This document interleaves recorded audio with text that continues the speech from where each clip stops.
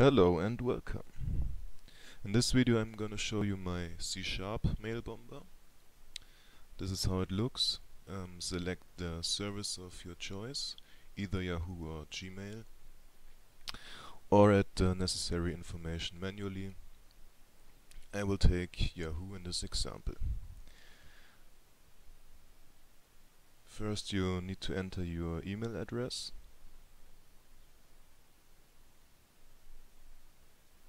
Then you will enter your password.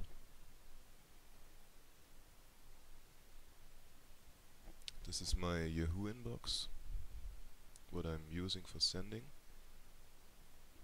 The next um, is that you enter your target email address.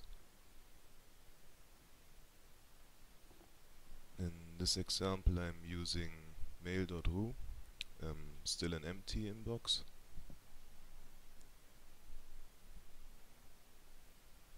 then you type in how many emails you want to send. In my case I will send 5 emails. Also you can choose to send addresses from file. I will explain this later.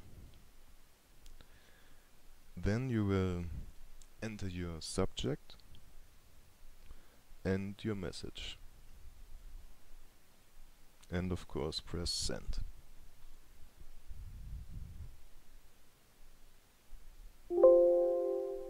Start, whatever. So now we have sent five uh, emails, but there is nothing there yet. It takes about two or three minutes to show up.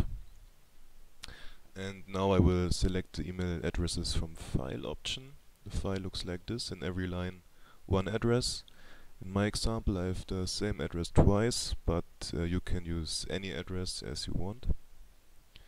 And now we should send two emails because we have the two addresses in the file. Now I keep refreshing until the emails will show up in my inbox. As I said, it will take about two or three minutes. Um, I skipped a little part here.